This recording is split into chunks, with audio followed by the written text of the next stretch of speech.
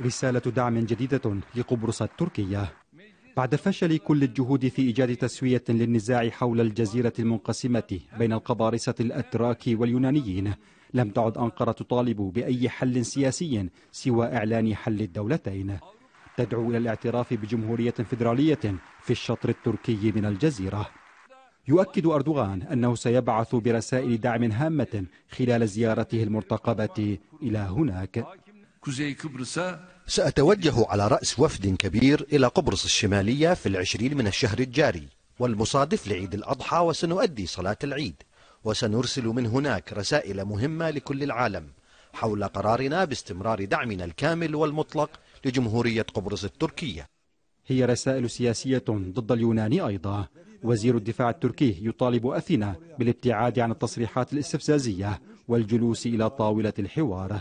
هدأت حدة التصعيد قليلا بين الجانبين شرقي المتوسط لكن إمكانية التوصل إلى حل ما زالت ضعيفة ثمة من يرى أن الوضع سيبقى متأرجحا بين عدم السلم وعدم الحرب بين البلدين.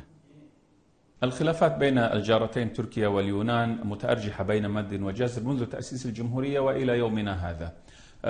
ويبدو أن هذه الخلافات آه، ستستمر آه، في ظل وجود خلافات عميقة بين الطرفين على الصعيدين السياسي والجغرافي.